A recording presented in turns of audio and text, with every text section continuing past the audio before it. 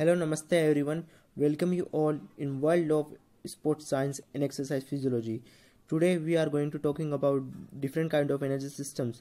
हमारे energy systems और metabolic system three mainly three part में डिवाइडेड है so first one is A T P C P R systems second is glycolytic system and third one is oxidative systems आज हम बात करने जा रहे हैं A T P P C R system के बारे में A T P P C R system dominant होता है और एनर्जी हमें जब हम स्प्रिंट रन लगाते हैं। सपोज़ हमारा ड्यूरेशन होता है वर्कआउट का, जिसमें कि ड्यूरेशन शॉर्ट होता है वन टू फिफ्टीन सेकेंड और इंटेंसिटी हाई होती है, उस टाइम पे हमें ऐसे एनर्जी सिस्टम्स की रिक्वायरमेंट है जो कि शॉर्ट ड्यूरेशन के लिए ज़्यादा एनर्जी दे। एनर्जी का एक बूस्ट दे तो वो हम डोमिनेंट रहेगा, उस टाइम पे रहेगा A T P P C R systems आइए देखते हैं काम कैसे करता है। Suppose when we are doing sprint run और मेकिंग हंड्रेड मीटर रन तो हमारी बॉडी में कंटिन्यूसली ए का रिलीज़ होता है एटीपी का फॉर्मेशन होता है। जब हम एक्टिन और मायोसिन फिलामेंट जब क्रॉस ब्रिज बनाते हैं और मस्कुलर कंट्रेक्शन करते हैं, तभी हमारी बॉडी में मूवमेंट पॉसिबल होता है और मस्कुलर कंट्रेक्शन पॉसिबल होता है। जब हम रनिंग करते हैं तो हमारी बॉडी में जब क्रॉस ब्रिज बनते हैं, वो आपस में एक दूसरे को पुल करते हैं, जो एक्टिन मायोसिन मॉलिक्यूल है मायोसिन फिलामेंट है, वो एक्टिन को फिलामेंट को पुल करता है, जिसकी वजह से मसल्स का कंट्रेक्शन रिलेशन होता है। At that time to make this uh, contraction possible we required some kind of energy. And usually which we are getting from ATP तो हमें एटीपी से एटीपी एक करेंसी एनर्जी की जो कि adenosine triphosphate you can see there is a three phosphate group three phosphate molecule attach to the adenosine तो हमें इससे एनर्जी मिलेगी। आफ्टर प्रोवाइडिंग एनर्जी वो ब्रेकडाउन हो जाता है एडीपी में। एडीपी एडोनिसिन डाईफॉस्फेट दो फॉस्फेट ग्रुप एक फॉस्फेट का ग्रुप यहाँ से रिलीज़ हो जाता है। तो हमारी बॉडी में इतनी एटीपी स्टोर नहीं रहती, हमारी सेल्स में इतनी एटीपी स्टोर नहीं रहती कि हम थोड़ा थोड़ा फिफ्टीन सेकेंड तक या हंड्रेड मीटर तक पूरा इस डिमांड को फुलफिल कर पाए। तो हमें रिक्वायरमेंट है एनर्जी को रिसिंथेसिस करने की। गॉट इट बच्चों?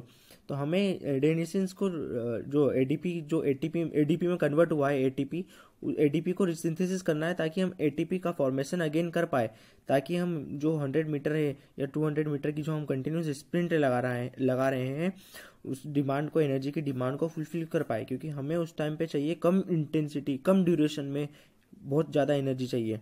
वो कैसे होगा? हमारी बॉडी में फॉस्फेट ग्रुप है। हमारी बॉडी में कैरेटिन फॉस्फेट नाम के मोलिकुल सेल्स में स्टोर रहते हैं, जिसके पास में एक फॉस्फेट ग्रुप है। अब हमें यहाँ पे, आप देख सकते हो कि एडीपी है। एडीपी में टू फॉस्फेट है। हमें यहाँ पे एक हाई एनर्जी फॉस्फेट ग्रुप की ज़रूरत है। वो कैसे मिलेगा?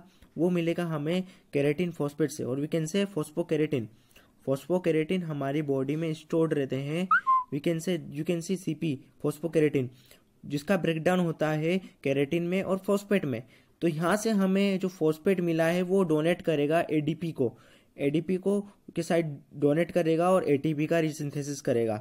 ये कंटिन्यूस रेपिड प्रोसेस होती है throughout the sprint run जिससे हमें एनर्जी मिलती है। तो यहाँ से जो ए डी पी इसी कैरेटिन फोस्फेट का ब्रेकडाउन हुआ है, उससे हमें फोस्फेट मिला है। साथ ही यहाँ पे हमें एनर्जी भी मिली है कैरेटिन फॉस्फेट के ब्रेकडाउन से। वो एनर्जी का इस्तेमाल एटीपी के सिंथेसिस में होता है और ये कंटिन्यूस चलता है जब तक हम शॉर्ट इंटेंसिटी में फिफ्टीन सेकेंड तक वर्कआउट करते हैं। अगर हम इससे ज़्यादा करेंगे तो हमारी एनर्जी का system switch off switch to हो जाएगा किस पर?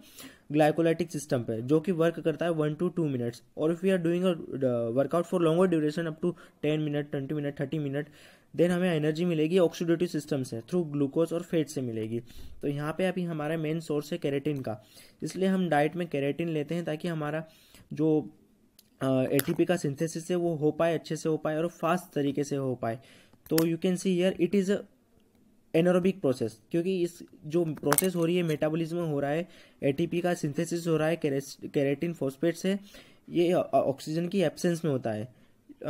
इसका मतलब ये नहीं कि हम ब्रीथिंग नहीं लेते हैं। इसका मतलब ये है कि जो ये प्रोसेस हो रही है, ये जो मेटाबॉलिज्म है, इसको ऑक्सीजन की रिक्वायरमेंट नहीं है। That's why it is called anaerobic anaerobic respiration we can say anaerobic breakdown of atp anaerobic CT, atp pcr system okay so this is the atp you can see here uh, it contain high phosphokeratin you can uh, make screenshot here और creatine phosphate को energy मिलती है और you can say the phosphate group है वो combine uh, हो रहा है एटीपी के साथ में और एडीपी के साथ में और एटीपी का सिक्रेशन हो रहा है thank you and next will be continue next video we will study about the oxidative system and glycolytic system.